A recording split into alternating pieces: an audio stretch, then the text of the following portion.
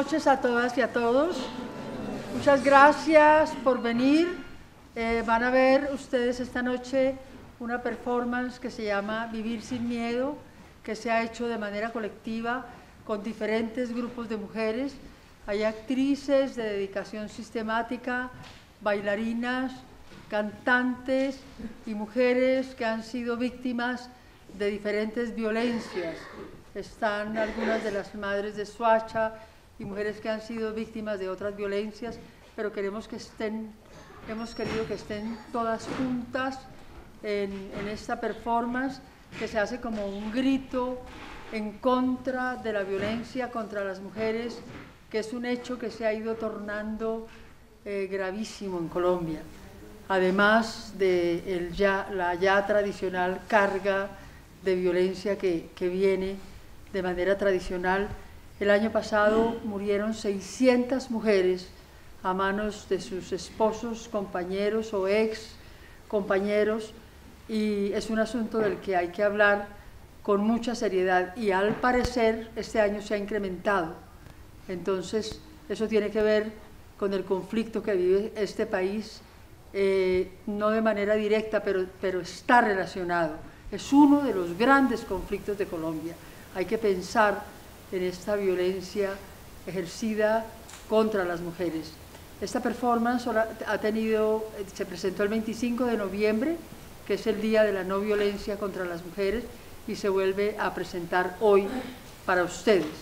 Entonces, muchas gracias por estar aquí y quedan con las compañeras que van a hacer una especie de, de grito en contra de este flagelo que vive el mundo, pero que de manera especial en este momento está afectando a Colombia. Muchas gracias.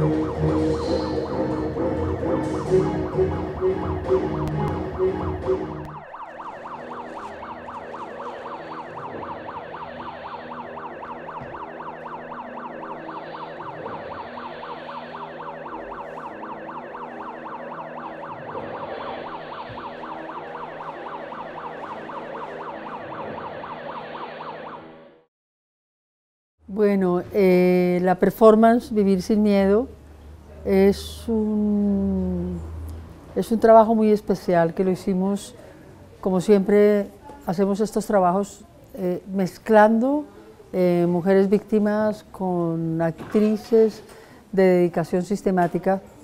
Y, por ejemplo, la, mostrar el maltrato pues es algo muy doloroso, pero no basta el dolor, es necesario mostrar también cómo las mujeres ahí son capaces de, de mostrar cómo se puede convertir el dolor en fuerza eh, y cómo eh, la, la, el encuentro de las mujeres también es algo muy alegre eh, y que produce mucha risa también detrás de todo esto.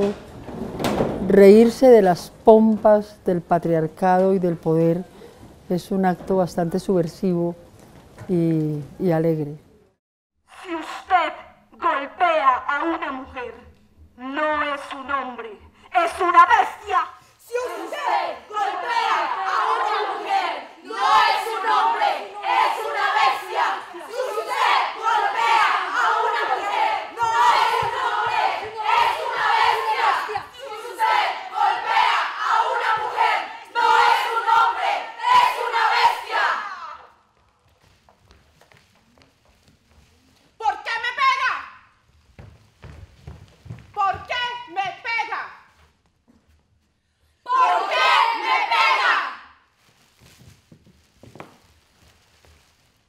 quiero más flores.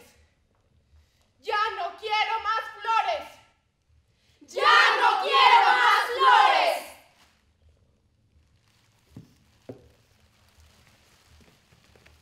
Ahora es mi tiempo. Ahora es mi tiempo. Ahora es nuestro tiempo. Aún tengo la ilusión de un nuevo comienzo. Se desmembrana mi alma de dolor.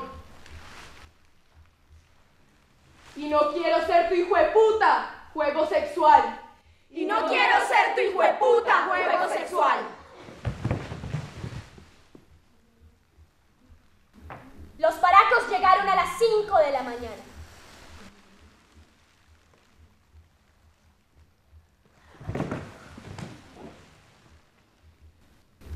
Yo solo tenía que esperar. Esperar, esperar. Nos violaron 47 días seguidos. 47 días seguidos. 47 días seguidos. 47 días seguidos.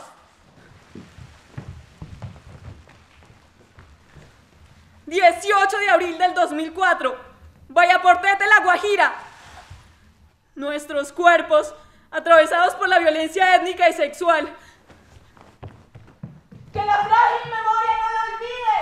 Que la frágil memoria no lo olvide. Que la frágil memoria no lo olvide.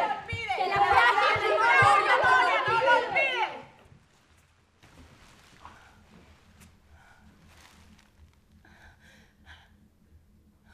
Estoy harta de todo esto. ¿Y mi vida? ¿Qué pasará con mi vida?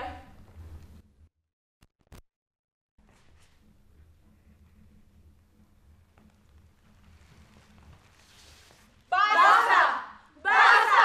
¡Basta! Ni una mujer más golpeada. Ni una mujer más asesinada.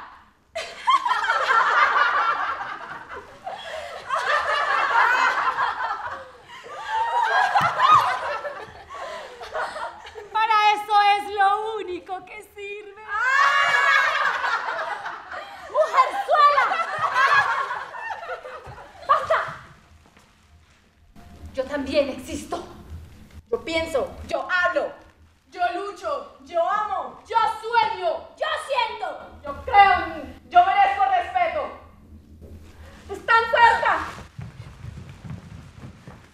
¡No toquen a mi niña! Aún me ronco de dolor enfrente del espejo. Pero ya no tengo miedo. Ya no tengo miedo. Ya no tengo miedo. Ya, Ya no tengo miedo. Ya no, Ya no tengo miedo. Ya no tengo miedo. Bueno, yo he hecho muchas performances, me parece que esta experiencia me ha permitido como eh, solucionar esa dicotomía entre el arte y la política, porque es como habitar los espacios de otra manera, encontrarme con otras personas.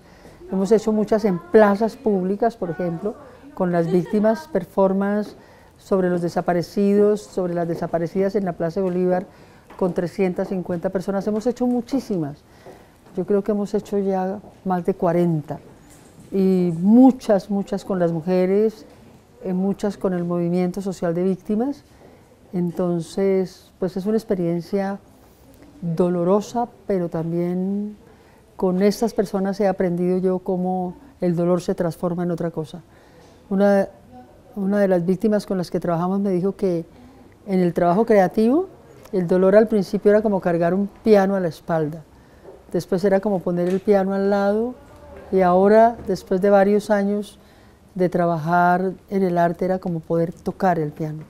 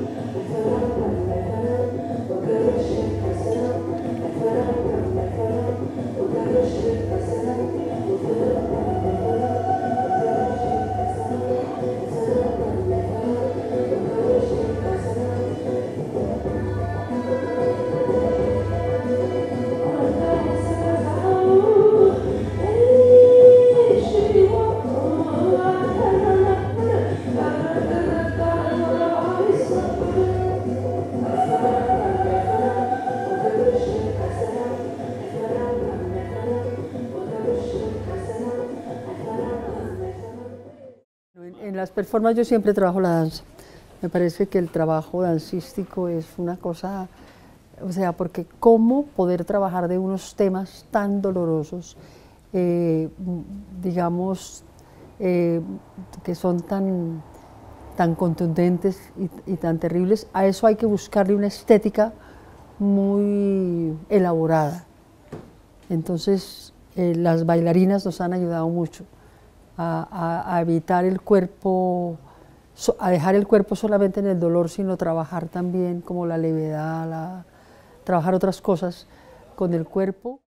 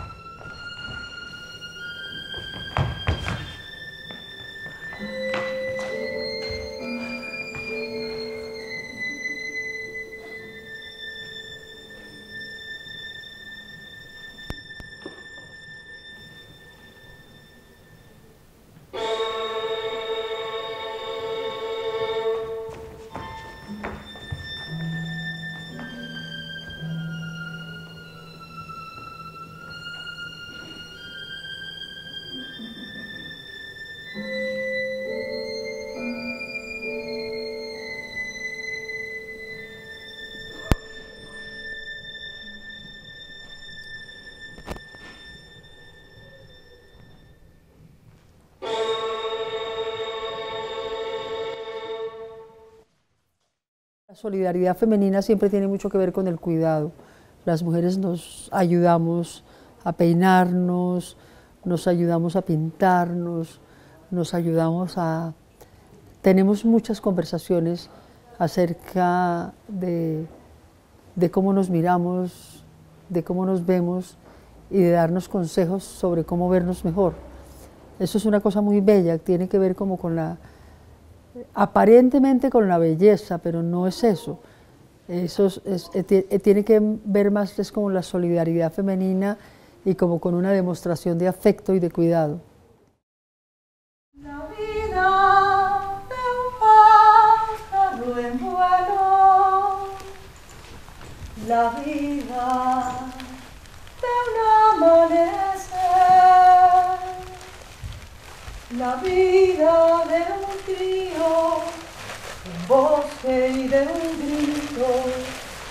vida me ha hecho saber. La vida del sordo y del ciego, la vida que no sabe hablar, la del triste loco, que sabe a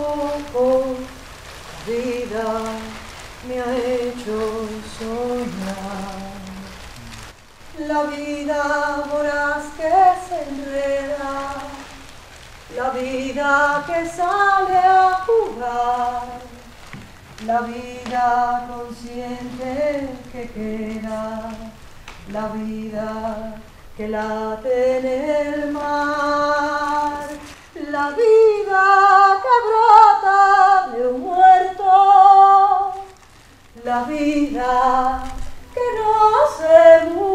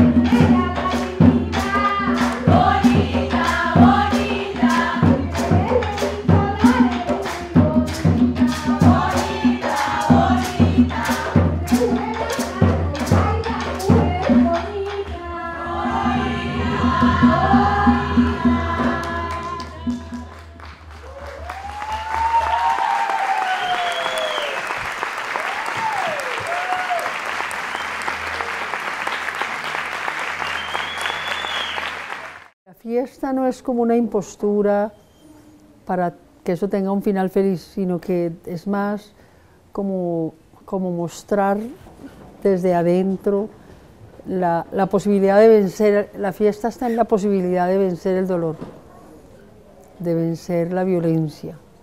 Yo creo que la paz aquí, por ejemplo, es una fiesta. Yo me estoy preparando para esa fiesta.